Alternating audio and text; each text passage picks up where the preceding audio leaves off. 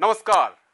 अपराध र अपराधी विरुद्धको अभियान हो कार्यक्रम avenues at crime avenues at क्राइममा आपराधिक मनोवृत्तिलाई समाज सामु उदाङ्गो पार्छौँ हामी र गर्छौँ घटनाको सूक्ष्म अनुसन्धान।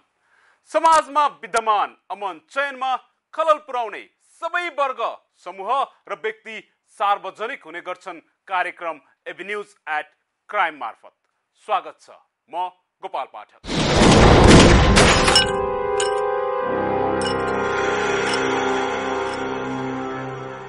संगठित सुन तस्करीको जालो पत्ता लगाउन र कारवाहीको प्रक्रियामा ल्याउन गृह मन्त्रालयद्वारा गठित सहसचिव ईश्वर पौडेल नेतृत्वको नौ सदस्यीय छानबिन समितिको म्याद सकिएको छ।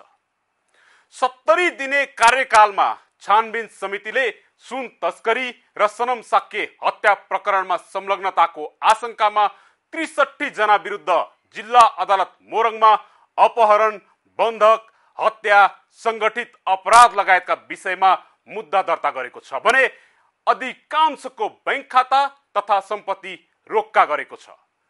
सुन तस्करी र हत्या आरोपले प्रहरी अधिकारी व्यापारी एयरलाइन्सका कर्मचारी राजनीतिज्ञ लगायतलाई अनुसन्धान र कारवाही प्रक्रियाको दायरामा ल्याएको छ। समितिले एकतिस अभियुक्तलाई पूर्वपक्षका लागि थुनामा पुर्याएको छ भने बत्तीस अभियुक्त अझै फरार छन् र खोजी कार्य तीव्र बनाएको जनाएको छ। समितिकै भाषामा भन्ने हो भने सुन तस्करीमा संलग्नताको अवस्था जेलिएको जेरी जस्तो छ। यद्यपि आफ्नो सत्तरी दिने कार्यकालमा के गर्यो त छानबिन समितिले? हेरौँ यो रिपोर्ट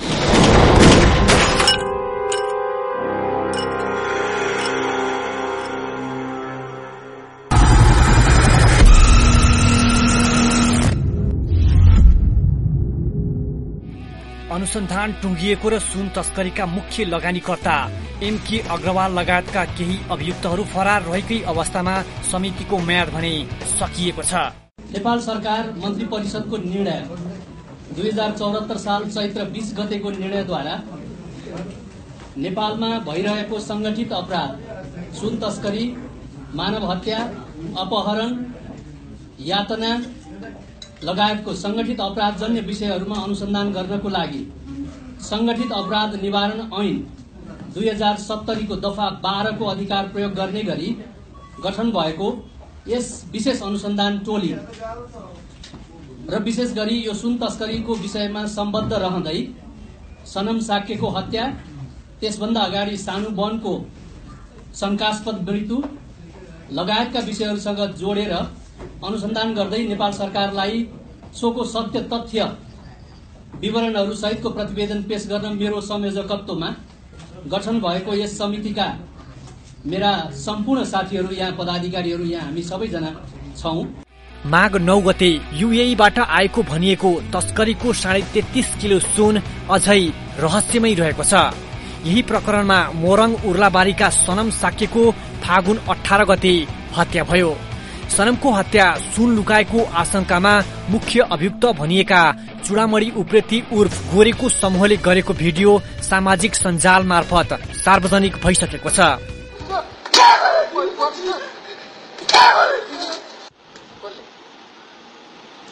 मैले तँलाई जब गर तिमीलाई मैले पैसा दिएर उठे जाऊ भन्ने मान्छे हो।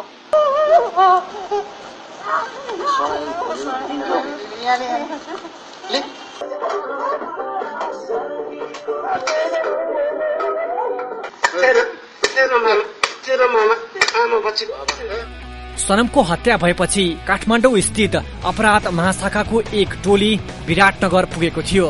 तर घटनाक्रमले अपराध महाशाखाकै भूमिका शंकास्पद रहेको देखिएपछि घटना थप रहस्यमय बन्दै गएको छ।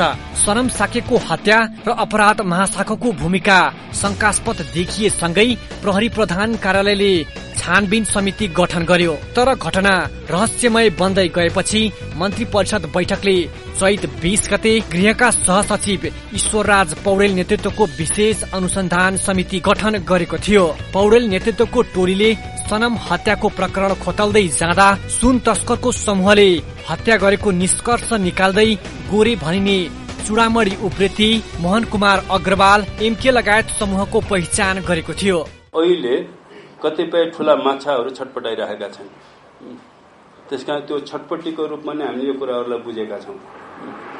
र सायद अब यो जुन छानबिन अगाडि बढिरहेछ अब हामी भुरा माछाबाट अनि मजौला र अब ठुला माछा नजिक हामी पुग्दैछौँ। र जति जति हामी नजिक पुग्दैछौँ ठुला माछाहरू छटपटाइरहेका छन्। यो रूपमा नै हामीले बुझेका छौँ। र यो बुझाइमा हामीसँग ठोस आधारहरू छ। र यो राम्रै भएको छ भन्ने हामीलाई लागेको छ यो नराम्रो भएको छैन। विशेष टोलीले गोरेको समूहले विभिन्न समयमा अडतिस क्विन्टल सुन तस्करी गरेको र विभिन्न व्यक्तिहरूको संलग्नता रहेको निष्कर्ष निकाल्यो। टोलीले सुन तस्करी र सनम हत्यामा जना संलग्न रहेको निष्कर्ष निकालेको थियो। यसअघि प्रतिवादी बनाइएका यसै मुद्दाका विभिन्न अभियुक्तहरू जो जति अभियुक्तहरू हुनुहुन्छ हालसम्म जम्मा पैँसठी जना तेत्तिस जना फरार र बत्तीस जना अदालत समक्ष पठाइएका व्यक्तिहरू। मोरङ जिल्ला अदालतमा मोरङ प्रहरीले हत्या अपहरण शरीर बन्धक तस्करी संगठित अपराध लगायतका मुद्दा दर्ता गरेको छ। अनुसन्धान टोलीले यो प्रकरणमा नेपाल प्रहरीका पूर्व DIG Govinda Niraula SSP Dibesh Lohani SSP Bikash Raj Khanal DSP द्वय प्रतीज केसी र सञ्जय राउत सही बालकृष्ण सञ्जेल लगायतलाई पक्राउ गर्यो प्रहरीसँगै मुख्य अभियुक्त भनिएका फरार रहेका गोरे एसएसपी श्याम खत्री र छिरिङ बाङदेल भने आफै अदालतमा उपस्थित भए। हाल सुन तस्करी प्रकरणमा गोरे सहित एकतिस जना पूर्वपक्षका लागि जेल चलान भएका छन् भने अझै उनातिस जना फरारको सूचीमा छन्। टोलीले सुन तस्करीको अनुसन्धान विभिन्न कोडबाट गरिरहेको दावी गर्दै आएको छ। सरकारले र गृह मन्त्रालयले जुन कदम उठाएको छ त्यो कुनै हचुवा तालमा चाहिँ उठाइएको छैन। यो धेरै विचार गरेर धेरै छानबिन गरेर र तथ्यको आधारमा यो कुराहरू उठाइएको छ। र जति कुराहरू आएका छ अहिले बाहिर यो कुराले के कुरालाई स्पष्ट गरेको छ भन्दाखेरि हामी सही दिशामै छौँ। अनुसन्धान समितिले चुडामणी उप्रेती गोरे दुई हजार चालिस सालदेखि सुन तस्करी गर्दै आएका भुजुङ गुरुङ र उनका साला छिरिङ बाङदेललाई काठमाडौँ झिकाएको छ। उनीहरूलाई सम्पत्ति शुद्धिकरण विभागले थप अनुसन्धानका लागि काठमाडौँ ल्याएको हो। अनुसन्धान टोलीले पछिल्लो समय अदालतको आदेश अनुसार अभियुक्तहरूको सम्पत्ति रोक्का गर्ने जफत गर्ने फरार भएकाहरूको खोजी कार्य तीव्र पारेको छ। यसै बीचमा अनुसन्धान समितिले सुन तस्करीमा फरार अभियुक्त राजेन्द्र कुमार साक्यले सञ्चालन गरेको आरके ज्वेलर्समा छापा मारेर तीस करोड़ भन्दा बढीको सुन चाँदी जफत गर्यो। त्यसै गरी बुधबार मात्र अर्का अभियुक्त चेतनाथ भण्डारीको स्वामित्वमा रहेको बाजेको सेकुवाका छवटा आउटलेटमा सिलबन्दी गरेको छ। टोलीले तस्करीको सुनमा मुख्य लगानीकर्ता भनिएका एमके अग्रवालको घरमा पनि छापा मारेको छ। यो विषय अनुसन्धानको विषय अत्यन्त जटिल गम्भीर प्रकृतिको त्यसमध्ये पनि संगठित अपराधको अनुसन्धान भएको हुनाले मैले सुरुमै भन्दै गरेको छु। यद्यपि यो यो विषयलाई मैले यहाँहरू समक्ष पहिलो पटक राख्दैछु। यो जेरी जस्तै जेलिएको र हरेक जेरीलाई तपाईँले सेल रोटी जसरी छुट्याउँदै जानुपर्ने खुलाउँदै खुलाउँदै खुलाउँदै फेरि प्रत्येक जेरीबाट सेल रोटीहरू निकाल्दै जानुपर्ने गम्भीर प्रकृतिको अनुसन्धान भएको हुनाले र अदालतमा विचाराधीन विषय भएको हुनाले पनि हामीले यसतर्फ गम्भीरतापूर्वक लिइदिनु हुन म यहाँहरू समक्ष विनम्रतापूर्वक अनुरोध गर्न चाहन्छु। सुनकाण्डको अनुसन्धानले विश्राम लिने छाटकाट अझै देखिएको छैन। अनुसन्धान टुङ्गिएको र सुन तस्करीका मुख्य लगानीकर्ता एमके अग्रवाल लगायतका केही अभियुक्तहरू फरार रहेकै अवस्थामा समितिको म्याद भने सकिएको छ।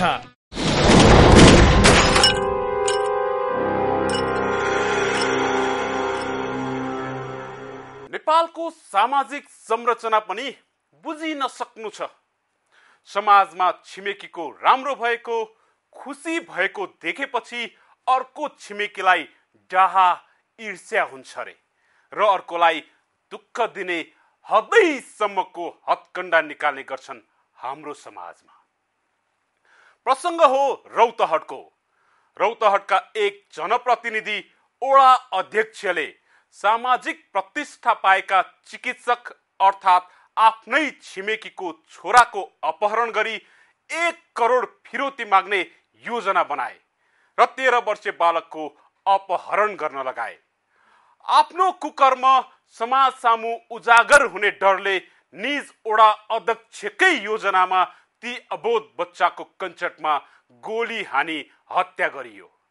हो दर्शकवृन्द गोली प्रहार गरी हत्या गर्ने योजनाकार ओडा अध्यक्ष सहित एघार जना अहिले प्रहरी थुनामा छन् भने रौतहट प्रहरीका लागि अवैध हतियार अपहरण हत्या जस्ता घटना बढ्दै जानुले चुनौती थपिँदै गएको छ। यसतर्फ प्रहरी झनै चनाखो हुनुपर्ने देखिन्छ। आखिर के थियो त रौतहट घटना? हेरौँ यो रिपोर्ट।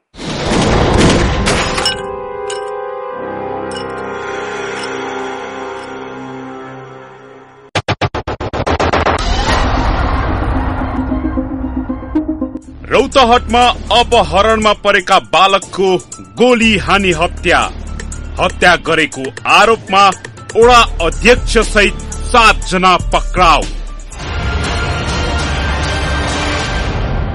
सात बजेतिर थाहा भयो बच्चा खोज्दाखेरि अब गाउँमा खोजे चारैतिर बच्चा मेरो पाइन्छ कचहरिया नौ डुमरिया टोलका चिकित्सक दिलीप शाहको छोरा युवराज शाह जेठ छब्बीस गते शनिबार राति घरमा सुतिरहेकै अवस्थामा हराएका थिए। तेह्र वर्षीय युवराज शाह आफ्ना दिदीहरूसँग यही ओछ्यानमा सुतेका थिए र माथिपट्टि भएको तल्लामा जुन झ्यालहरू खुलेको छ त्यो झ्यालबाट अपहरणकारी घरभित्र प्रवेश गरे र यही ओछ्यानबाट सुतिरहेका युवराजलाई बोकेर आफूसँगै लगे। बालक अपहरणमा परेपछि अपहरणकारीले बालकका बुबा दिलीप शाहको मोबाइलमा फोन गरेर एक करोड रुपियाँ फिरौती मागेका थिए। बालक हराएको खबर पाए लगत्तै खोज तलासमा जुटेको प्रहरीले अन्तत अठाइस गते सोमबार बिहान युवराजको शव फेला पार्यो। बालकको कञ्चटमा एक गोली प्रहार गरेर हत्या गरिएको अवस्थामा शव फेला परेको थियो। मारले बाड़न सन ओकरा बाद में गोली आर पार कर दिले बाड़न सन लड़का के बहुत बुरा तरह से मारले बाड़न सन लड़का के लड़का के बहुत बुरा तरह से मारले बाड़न शवलाई पोस्टमार्टमका लागि जिल्ला अस्पताल गौरमा लगियो। अपहरणकारीले एक करोड रुपियाँ मागेको भोलिपल्ट नै बालकको शव फेला परेको हो। हो दर्शक वृन्द शनिबार राति अपहरणमा परेका तेह्र वर्षीय बालक युवराज शाहको गोली हानेर हत्या गरेको अवस्थामा शव फेला परेको हो। परिवारका सदस्यहरूसँगै सुतेका युवराजलाई अज्ञात समूहले ओछ्यानबाटै लगेका थिए। कटहरिया नगरपालिका भन्दा पन्ध्र किलोमिटर टाढा गढिमाई नगरपालिका पाँचको बागमती नदी किनारमा सोमबार बिहान बालकको शव फेला परेको थियो। बालकको हत्या गरिएको अभियोगमा ओडा अध्यक्ष रामाज्ञ राई यादव सहित जनालाई प्रहरीले पक्राउ गरेको छ। हत्याको मुख्य योजनाकार ओडा अध्यक्ष यादव हुन सक्ने आशंकामा उनी पक्राउ परेका हुन्। एघारजनालाई पक्राउ गरेका छौँ र यो घटनामा चाहिँ प्रयोग प्रयोग भएको भनिएको चाहिँ चाहिँ त्यसले बन्दुक नलकटुवा बन्दुक त्यसमा समेत हामीले तलास गरेका छौँ आफ्नै घरमा सुतिरहेका बालकलाई छिमेकी ओडा अध्यक्ष यादवको योजनामा अपहरणपछि हत्या भएको प्रारम्भिक अनुसन्धानमा खुलेको छ। ओडा अध्यक्ष यादवका छोरा शक्ति यादव वृन्दावन नगरपालिका स्थित आकर पाथर टोलका रवि पटेल र विनोद पटेलको बयानबाट बालकको अपहरण र हत्याको योजना ओडा अध्यक्षले नै बनाएको खुलेको हो। अपहरणकारीले बालकसँग उनले प्रयोग गरेको मोबाइल पनि साथै लगेका थिए।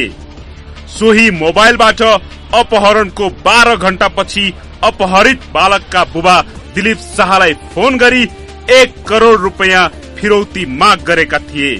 जतिखेर मलाई आयो नि त्यो कल त्यतिखेर प्रहरी मेरो रोहरमा नि थियो। मैले कल डिटेल त्यसको रेकर्डिङ पनि गरेँ अनि उहाँले पनि प्रष्टै भोइस खोलेर मैले उहाँले सुनाएँ। जे अरे त्यो उहाँले पनि सुन्नुभयो अनि उहाँ प्रक्रियामा लाग्नुभयो। अनि उसले पनि भन्यो कि प्रहरीलाई खबर नगर्नु होला।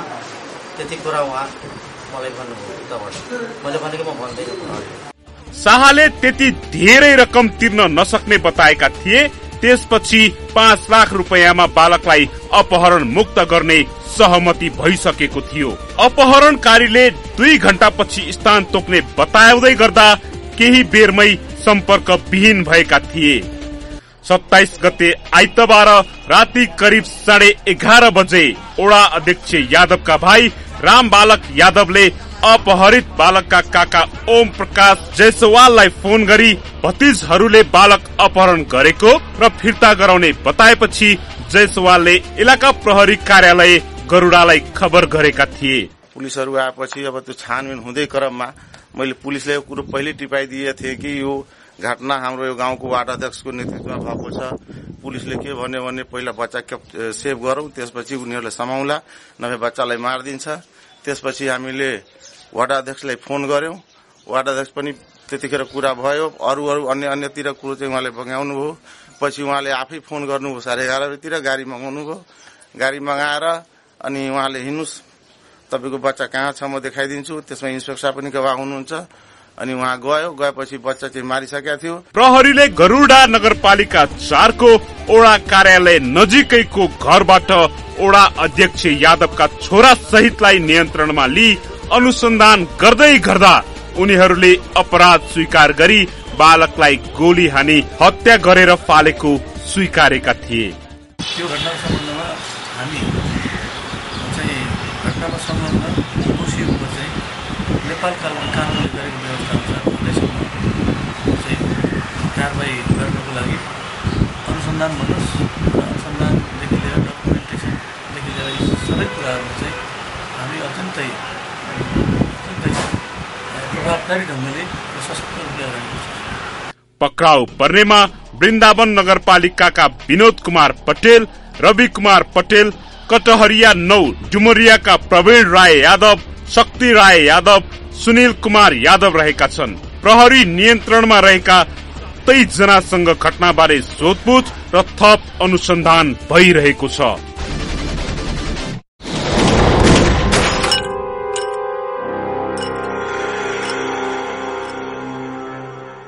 पछिल्लो समय वीरगंज महानगरपालिकाको विभिन्न ओडाबाट नेपालमा प्रतिबन्धित दुई हजार र पाँच सय दरका भारतीय रुपियाँ नेपाल भित्रने क्रम बढेको छ। अवैध भारतीय रुपियाँ नेपाल भित्रिएको सूचना पाएसँगै प्रहरीले पनि निगरानी बढाएको छ।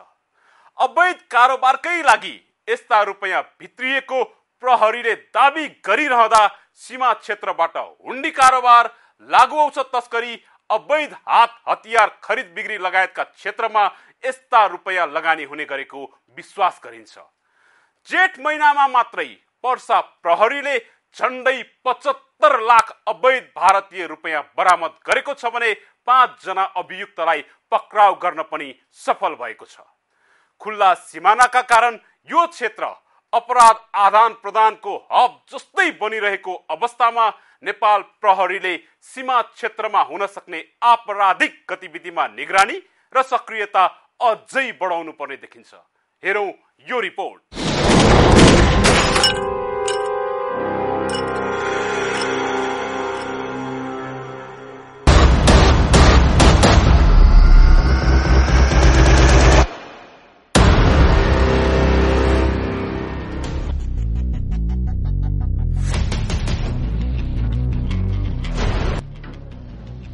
नेपालमा प्रतिबन्धित दुई हजार र पाँच सय दरका भारतीय नोट खुल्ला सिमानाबाट भारी मात्रामा नेपाल भित्रन थालेको छ।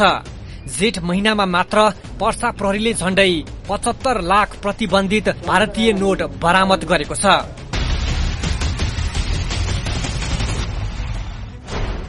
जिल्ला प्रहरी कार्यालय पर्साको टोलीले वीरगंज उपमहानगरपालिका वडा नम्बर एघार रानीघाटलाई लक्षित गरी चेक जाँचलाई कडाई गर्ने गरेको छ। चेक जाँचकै क्रमबाट जेठ सत्ताइस गते भारतबाट नेपालतर्फ आउँदै गरेको एक मोटरसाइकलमा ठूलो परिणामको भारतीय नोट पक्राउ गरेको छ। ना एकतिस प छप्पन्न शून्य छ नम्बरको मोटरसाइकलमा चेक जाँच गर्ने क्रममा प्रहरीले मोटरसाइकल सवारको साथबाट एकतिस लाख आठ हजार भारतीय रूपियाँ बरामद गरेको हो। साथै ठूलो परिणाममा दुई हजारका भारतीय रुपियाँ सहित दुईजनालाई पक्राउ गर्न सफल भएको छ। पक्राउ पर्नेमा बाराकु जितपुर सिमरा उपमहानगरपालिका वडा नम्बर आठ लोसाङ बस्ने एक्काइस वर्षीय अजित कुमार झा र जितपुर सिमरा उपमहानगरपालिका वडा नम्बर सात बस्ने अडतिस वर्षीय निरज कुमार सिंह रहेका छन्। यो वीरगञ्ज महानगरपालिका एघार नम्बर वडाको रानीघाटमा एकजना मान्छे अजित कुमार झालाई चेक गर्ने क्रममा उहाँको साथबाट चाहिँ दुई हजार दस दरको भारतीय रुपियाँ दस लाख पाइयो र त्यस पछाडि पुनः अर्को व्यक्ति निरज कुमार सिंहको साथबाट पनि उहाँ केही टाढा हुनुहुन्थ्यो। उहाँसँग उहाँबाट चाहिँ त्यही दरका दुई हजार दरकै एक्काइस लाख आठ हजार गरेर दुईजना मानिसबाट चाहिँ एकतिस लाख आठ हजार भारतीय रुपियाँ नियन्त्रणमा लिएका छौँ मानिस र एउटा मोटरसाइकल सहित। अजित कुमारको साथबाट भारतीय रुपियाँ दुई हजार दरका नोट पाँच सय थान अर्थात दस लाख र निरज कुमार सिंहको साथबाट भारतीय रुपियाँ दुई हजार दरका नोट एक हजार चौवन्न थान अर्थात एक्काइस लाख आठ हजार आमद गरेको छ। दुई हजार दरको भारतीय रुपियाँ चाहिँ नेपालमा चलाउन नपाइने भन्ने छ। र चलाउँदाखेरि पनि यो पुरानो नीति अनुसार चाहिँ तिस हजारसम्म विभिन्न कारणले गर्दाखेरि लिएर हिँड्न पाउने सम्भा अवस्था हुने रहेछ। यति ठुलो रकम चाहिँ गैर कानुनी हुने भएको हुनाले हामीले नियन्त्रण गरेर सार्वजनिक गरे नोटबन्दीपछि भारतमा प्रचलनमा ल्याइएको नयाँ दुई हजारको भारतीय नोट नेपालमा प्रतिबन्धित छ। यसअघि दुई पटक ठूलो परिणाममा अवैध।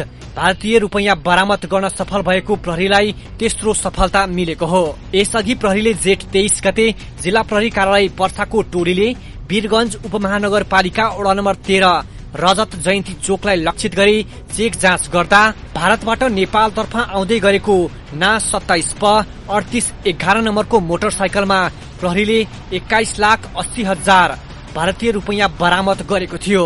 जेठ बाइस गते हामीले चाहिँ इन्डियाबाट नेपालतर्फ आउँदै गरेको एउटा मोटरसाइकल र त्यसमा सवार दुईजना भारतीय नागरिकहरूलाई शङ्का लागेर चेक जाँच गर्दाखेरि उनीहरूको साथबाट चाहिँ दुई हजार दरको भारतीय रुपियाँ एकतिस लाख अस्सी हजार बरामद गरेका छौँ।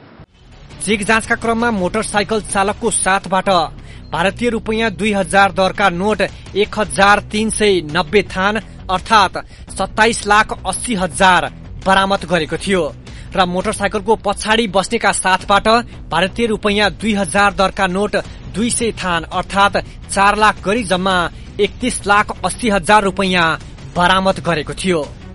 जेठ तेइस गते बारा कलैया उपमहानगरपालिका वडा नम्बर चार मुतियाबाग घर भई मकवानपुरको हेटौडा उपमहानगरपालिका वडा नम्बर दस बस्ने तीस वर्षीय चितरञ्जन प्रसाद र भारत बिहार जिल्ला पूर्वी चम्पारण मोतिहारी थाना पालनमा ग्राम पञ्चायत बेलवा वडा नम्बर चौध बस्ने अठार वर्षीय रोहित केसरी पक्राउ परेका थिए।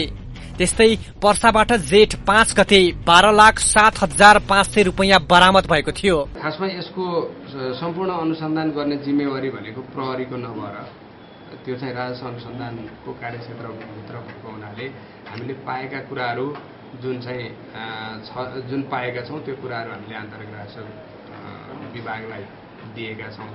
र यसमा पनि केही कुराहरू निस्किन्छन् होला जस्तो लाग्छ। जेठ महिनामा मात्र प्रहरीले अवैध भारतीय रुपियाँ कारोबारमा संलग्न तीनवटा मोटरसाइकल सहित पाँच जनालाई नियन्त्रणमा लिएको छ। सुन तस्करी प्रहरीको टाउको दुखाइ बनिरहेको समयमा ठूलो मात्रामा प्रतिबन्धित भारू नोट पक्राउ पर्ने क्रमले प्रहरी माथिको चुनौती अझै थपिँदै गएको छ।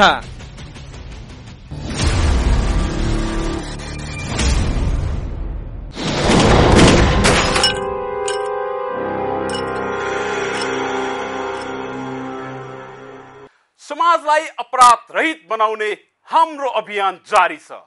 अपराध र अपराधीका सम्बन्धमा कुनै सूचना भए तत्काल प्रहरीलाई खबर गर्नुहोस्। तपाईँ हामीलाई हाम्रो हटलाइन शून्य एक चार शून्य एक सात सात शून्य शून्यमा पनि सम्पर्क गर्न सक्नुहुनेछ। अर्को साता फेरि भेट हुने नै छ। आजलाई बिदा दिनुहोस्। नमस्कार।